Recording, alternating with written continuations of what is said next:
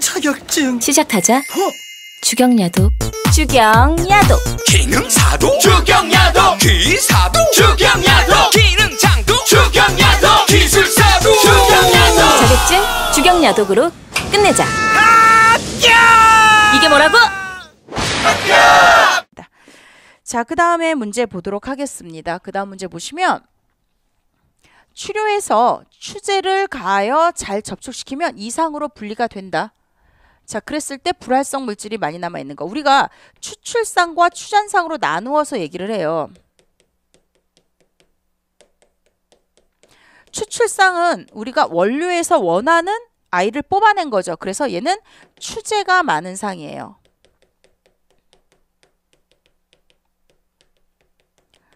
자, 추잔상은 우리가 뭐라고 얘기를 했었냐면 보통 애객 추출을 많이 하기 때문에 물론 고액 추출도 많이 하지만 애객 추출에서 뭐라고 얘기했어요? 원용매가 많은 상이다 그랬죠. 그러면 고액 추출, 침출에서는 어떻게 돼요? 이거는 애객 추출이고 침출, 고액 추출에서는 뭐가 많다? 불활성 물질이 많은 거죠. 질이 많은 상이다 이렇게 보시면 되겠어요. 이건 액상일 때 이거는 고상일 때 이렇게 되는 거죠. 그래서 어 불활성 물질이 많이 남아 있는 게 뭐다? 추잔상이 되는 거죠. 그 다음에 추재가 많이 남아 있는 게 추출상이 되는 거고. 자, 36번 보도록 하겠습니다. 증류에서 일정한 비휘발도의 값으로 2를 가지는 이성분 혼합물을 90몰%인 타비 제품과 10몰%인 탄밑 제품으로 분리하고자 할 때 최소 이론 단수는 그랬어요. 최소 이론 단수 플러스 1은 로그 그 이 최소 이론 단수 플러스 1이에요. 그러면 여기서 또 중요한 게 뭐냐면 단수는 항상 자연수로 나타내야 된다는 게 되게 중요해요. 그래서 계산을 다 하신 다음에 자연수로 나타내 주셔야 돼요. 자, 요 식은 일단 암기를 해서 쓰셔야 되는 거고요. 최소 이론 단수의 식이에요. 자, 그럼 여기다가 넣고 n 플러스 1은 로그 자, 얘가 얼마냐면 0.9죠. 그러면 1 빼기 0.9가 되겠네요. 얘는 0.1이에요. 그럼 1 빼기 0.1 이렇게 되고 로그 2 이렇게 되죠. 요거를 계산해 보시면 얼마가 되냐면 6.3이 된대요. 그러면 n이 얼마가 돼요? 1 넘어가니까 5.3이 되죠. 자, 이렇다고 해서 혹시 여기에 보기에 5가 있으면 5를 찍으시는 분들도 있어요. 안 된다는 얘기예요. 몇 단이에요? 6단이에요. 올림이에요. 올림. 자, 됐습니다. 다행히 여기는 5가 없어, 없네요. 그죠?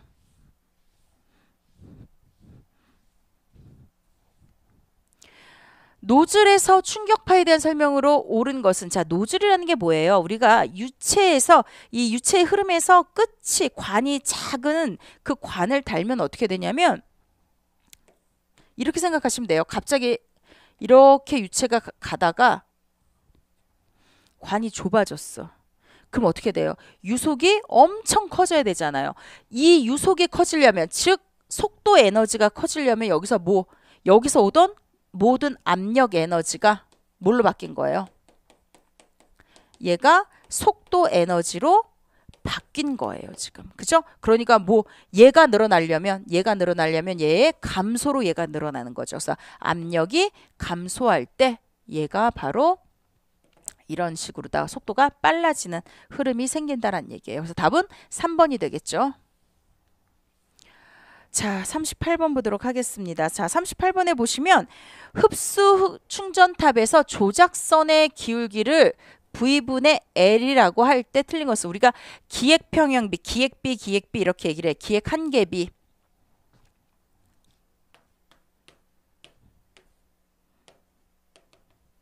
기획 한계비 이렇게 얘기를 하는데 이 그림을 잠깐 조금 보고 넘어갈게요. 음, 이런 게 있었어요. 이런 게 있었고 이런 게 있었어요. 그죠? 평형선과 조작선이에요. 평형곡선과 조작선. 자, 여기서는 성분이에요, 다. 그래서 여기가 x축, xy 이렇게 되는데 그냥 간단하게만 말씀드릴게요. 이렇게 되어 있을 때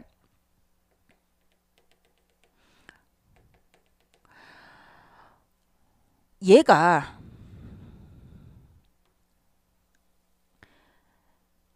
이 평형 곡선하고 닿으면 얘가 지금 이 기울기가 바로 얘예요. 얘 V분의 L. 이게 닿으면 기체 흡수가 안 일어나요. 왜?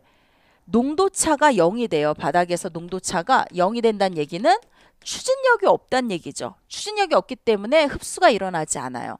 우리가 흡수 충전탑에서 흡수가 일어나려면 얘가 좀 일어서야 돼요. 무슨 얘기인지 아시겠죠? 기울기가. 그래서 V분의 이 한계치를 우리가 기획 한계비라고 얘기를 하고 얘가 왜 중요하냐면 이거보단 커야 되잖아요. 이 값에 따라서 이 기울기에 따라서 우리가 탑의 높이가 정해진다고 보시면 돼요. 그래서 이 값이 커지면 탑은 작아지고 탑의 높이는 작아지고 반대가 돼요. 그리고 이 값으로 또뭘또 얘기를 하냐면 운전을 할 때 우리 흡스타 운전을 할 때 그 경제적인 운전 경제성 이거를 고려해서 운전을 할 수 있는 어떤 그 알려주는 어떤 얘가 특성치가 돼요. 그렇기 때문에 얘를 얘기를 하는데 이거보다는 어느 쪽으로 조작선 쪽으로 조금 더 얘가 옮겨가야 된다라는 거 요거를 꼭 기억을 해주시기 바랍니다. 그래서 V분의 L의 값이 커지면 탑의 높이는 낮아진다 맞고요. V분의 L의 값이 작아지면 탑의 높이는 높아진다도 맞고요. 자 운전과 아, 경제성과 관계가 있는 거죠. 경제성 그죠? 그 다음에 V분의 L의 최소값은 흡스탑 하부에서 기획간의 농도차가 가장 작을 때 0일 때의 값을 의미를 해요. 기획 한계비. 이게 최소값이라는 게 바로 민, 민이 얘는 농도차가 0일 때, 즉 추진력이 0일 때를 의미를 한다라고 보시면 되겠습니다.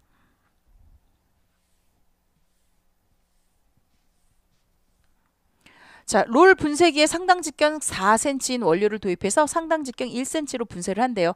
그랬을 때 마찰 개수가 루트 3분의 1일 때 롤 지름은 자, 롤이 이렇게 있어요.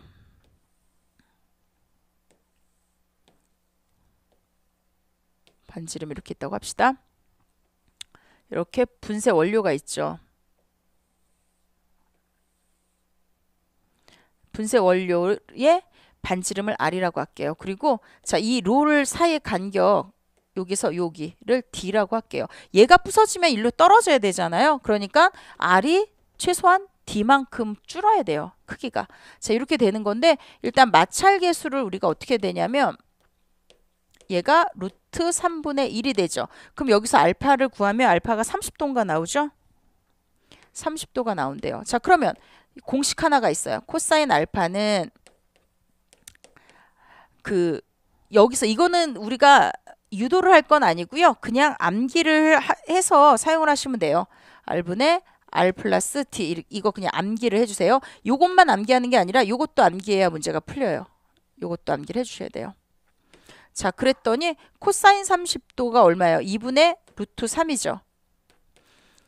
R 플러스 얘는 얼마였냐면 상당 직경이 4cm니까 반경은 2cm가 되겠죠. 그 다음에 R 플러스 분쇄 원료 상당 직경 1이래요. 그러면은 직경이니까 얘는 2분의 1이 되겠죠.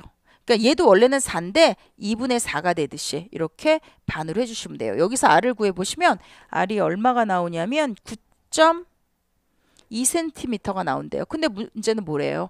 롤의 지름은 얼마인가 그랬어요. 롤은